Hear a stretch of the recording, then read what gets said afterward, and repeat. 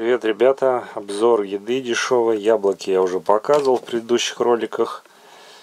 Э, они сладкие, 30 рублей стоят, мега дешевые, но из дефекта у них вот э, пятна есть темные.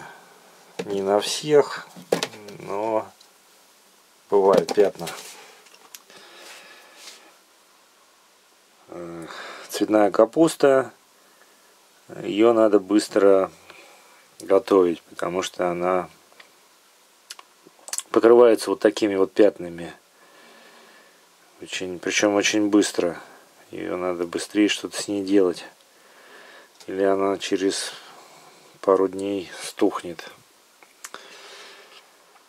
Э, помидоры 40 рублей. Ну, я вообще в них дефектов не вижу.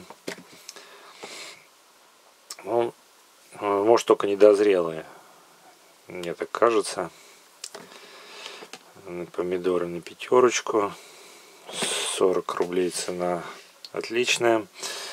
Груши 75, по-моему, рублей стоили.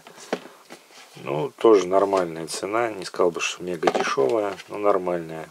Они даже не мятые, они, как я вижу, подсохшие. Ну, в общем-то, все.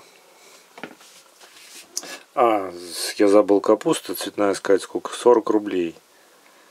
Это отличная цена, потому что так она стоит 100, там около 100 рублей. Вот. На этом все. Пока, ребята. Подписывайтесь, ставьте уведомления. Э,